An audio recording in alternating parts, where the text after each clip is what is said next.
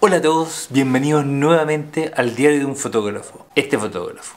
Mañana tengo una sesión para Radio Universo con la Catherine Salosny e Ignacio Franzani.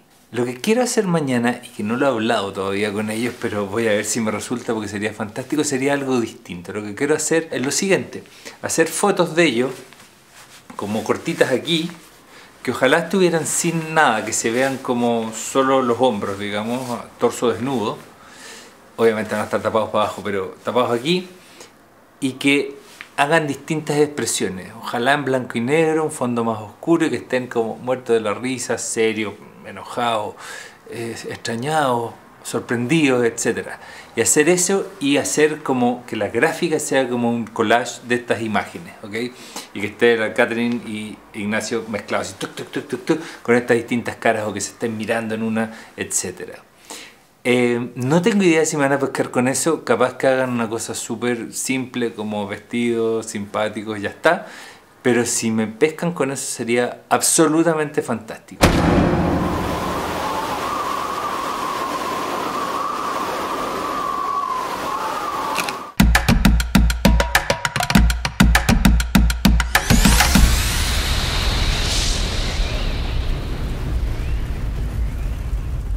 Esto es en el estudio de fotos del Mercurio, que se los voy a mostrar mañana. Voy a llevar las luces sin, sin enchufar, o sea, el B1X y el B10, porque en el fondo es una sesión corta, las baterías de duran de más y vamos a estar ok, tengo que llevar el computador para disparar al computador porque siempre les gusta ir viendo las fotos. Y eso sería, voy a llevar un par de modificadores, un par de fierros para parar todo y ya está. Llegando aquí a las instalaciones de El Mercurio. Vamos a ir ahora al estudio de foto que está acá y vamos a ver quién nos abre. Estamos ya en el estudio del Mercurio y vamos a empezar a instalar las cosas. Vamos a disparar contra ese fondo gris allá atrás. Eso nos va a permitir tener más control sobre el fondo, no está siempre blanco. Aquí estamos ya, estoy armando y lo, como lo voy a armar es lo siguiente. Voy a tener el B10 acá arriba, esta va a ser mi luz principal. A pesar de que es el foco más chiquitito, es el más liviano, es más fácil de moverlo como luz principal.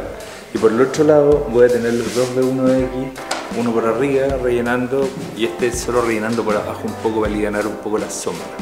Y ahí voy a ir manejando, puede que no estén siempre prendidos los tres, puede que de repente haya uno solo prendido, etc. Pero esa es como la manera en que voy a controlar la luz.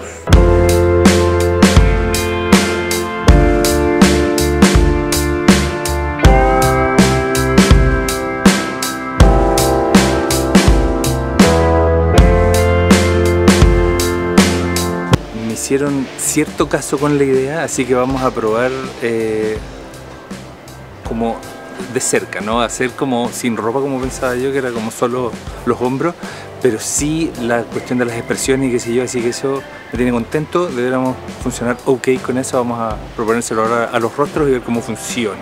Estoy feliz de empezar con Radio Universo, eh, de estar con el Nacho Franzani que estuvimos, nosotros hicimos Fruto Prohibido en Televisión Nacional con José Antonio Neve. Cáchate.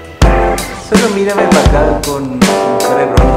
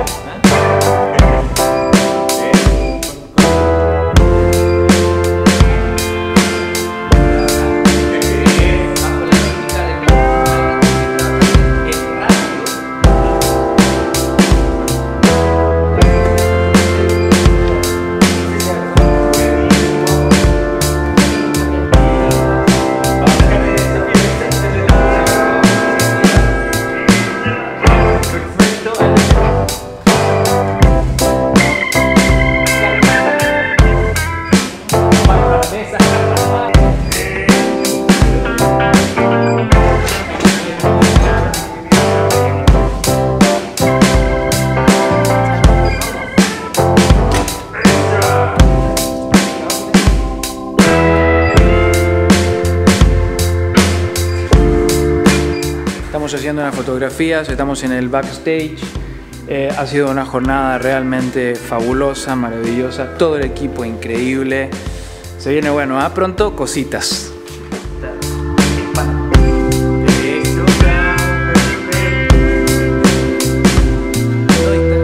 Ok, acabamos de terminar la sesión. Están eligiendo ahora un par de fotos para hacer como una preselección.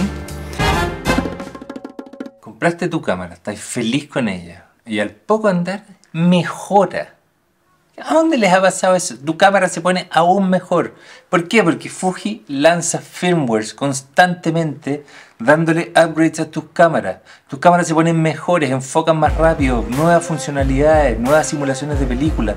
Todo eso va pasando en tiempo real. Entonces tu cámara, que puede tener 6 años como esta, sigue vigente. Y eso es impagable. Se están preocupando desde la fábrica de ti años después de que compraste la cámara. ¿Dónde han visto eso? La fotografía es una actividad que requiere estar emocionalmente bien para producir trabajo que sea significativo. Tener gente que te ayude a eso a tu alrededor es vital. Y en Trípodes tienes un grupo de personas que quieren que tú lo hagas lo mejor posible. Y te van a ayudar y se van a esmerar para ayudarte a ti a hacer tu mejor trabajo. Por eso yo siempre compro en trípodes. Me encantan estas sesiones donde se puede jugar un poco más con la gente y podemos hacer estas cosas más entretenidas. Radio Universo en general son súper buena onda con todo, la gente es muy buena onda. Bueno, Ignacio he trabajado varias veces con él, con la Katy no, pero resultó ser un encanto también. Acá están las fotos entonces. La idea era elegir, si se fijan, varias con distintas, distintos espíritus y que después se puedan mezclar. Y que en el fondo la idea es elegir algunas de la Katy. Voy a elegir aquí un par así absolutamente aleatorio. Y después elegir de Ignacio en la misma actitud o en la misma situación, no es la misma actitud, la idea es que sean actitudes distintas y de ir mezclándolas y ver cómo funciona eso. Así, ¿se fijan? Entonces en el fondo que estén jugando en este sentido. Obviamente después la diagramación entra en juego y tiene que ser una cosa más, más lúdica que eso, ¿no? Tiene que ser más cerrado el encuadre, que sé yo, ahí va a depender mucho de cómo lo hagan ellos. Pero esa era un poco la idea de jugar con ese tema. Y ahí además tenemos las otras más formales, como esto, que en el fondo lo más típico que se hace en este tipo de cosas, como más clásico. Tenemos con los elementos de juego, aquí con la bicicleta o el scooter en alguna otra que están muy buenas también. Entonces en el fondo vamos a ir jugando con todas esas fotos. Pero está divertida la selección, la preselección que hicieron, así que ahora tengo que exportarlas, mandarlas y de ahí vamos trabajando el retoque en las que sea necesario.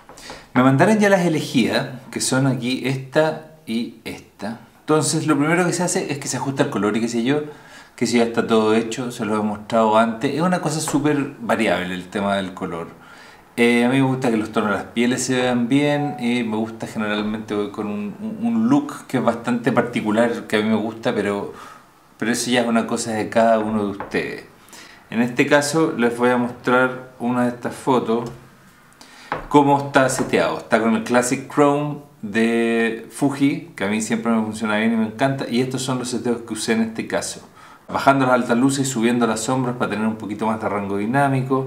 La curva está levemente pronunciada como lo hago siempre, la, S en fondo, llevar por las sombras y las luces. Y eso es básicamente lo que hice en este caso. Hay un tema con estas fotos que estas fotos muchas veces van al diario, de mall, qué sé yo, y ahí los coloridos en general los mantengo bastante neutro. No trato de hacer cosas muy exageradas porque se en el contexto. No es una foto mía que vaya a vivir en mi espacio. Eh, tiene que convivir con otras cosas y en ese sentido trato de ser lo más cauteloso posible. La cosa más entretenida que hicimos con esta foto eh, fue lo siguiente. Acá hay dos fotos originalmente. ¿Ok? Esta y esta. Y esto, esto fue para Photoshop. En el fondo, estas eran las dos fotos. Y ellos querían la cara de Ignacio de esta primera foto y la cara de la Katy de la segunda foto. Entonces ahí lo que se hace es que uno se va a Photoshop y agarra una cara y la copia en la otra foto. ¿Cuál es el mayor tema con esto? Es hacer calzar las caras, o sea que en el fondo se vea razonable dentro de lo que uno está haciendo. Y fíjense, en este caso ella giraba un poco, entonces tuve que ajustar el cuello un poco a ciertas cosas que en el fondo hicieran que la foto se vea natural. Y se ve súper bien. Aquí estamos en Photoshop y aquí tengo las dos capas, ¿ok? La capa que siempre dejo como background y esta donde está todo el ajuste. ¿Se fijan como el cuello cambia un poco porque tenía la cara hacia un lado y ahora va hacia el otro? Ese tipo de detalles cambian. Y lo otro que tienen que preocuparse es del, borde en el fondo de la foto que están pegando. Cuando son caras, yo usualmente trato de cortar donde no haya un borde natural.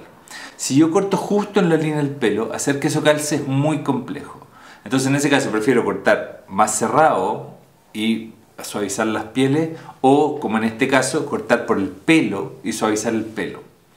La Katy tiene este pelo como más ondulado, lo tenía ondulado para esta foto, cosa que hace mucho más fácil porque no se distinguen tanto los bordes. Si uno tiene un pelo muy, muy liso o muy ordenadito, eh, es súper difícil hacer el corte. En este caso es bastante fácil poder ir ajustando el borde y que se pierda esa unión.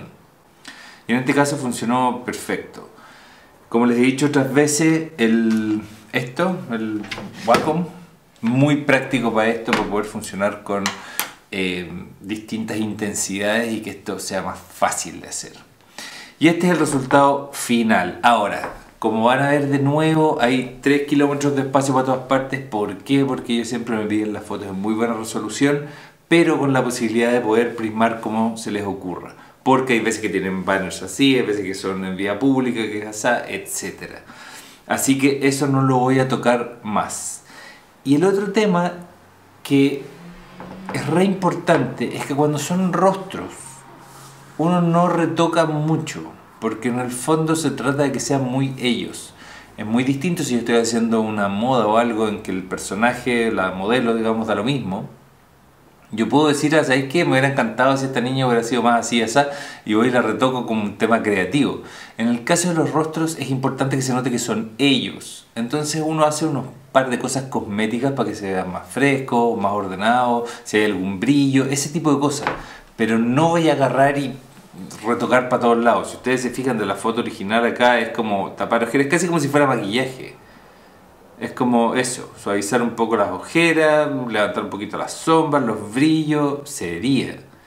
Y eso funciona para mi gusto mucho mejor en este caso.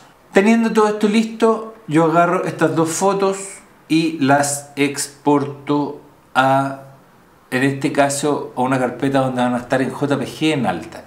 Radio Universo en general funciona en medios digitales, por lo tanto no necesitan TIFF o PSD o cualquier cosa que yo usaría para grandes impresiones o qué sé yo.